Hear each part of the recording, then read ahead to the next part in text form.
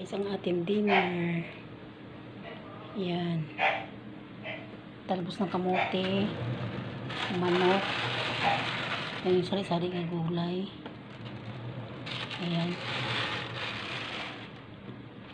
Tokwa. Yan.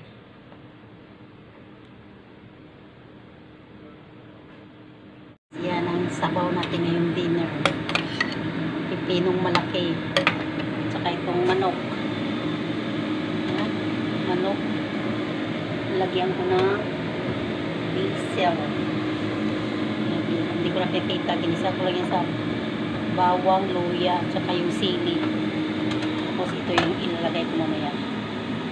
Chuchinta. Basil daw yan. Sangid naman. Sangid sa Bisaya.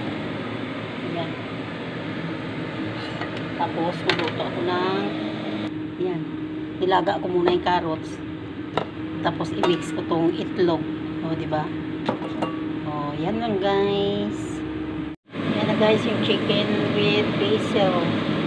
Chuchinta. Yan. Yan.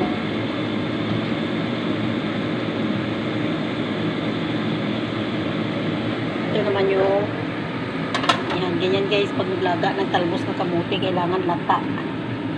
Yan, kailangan lata.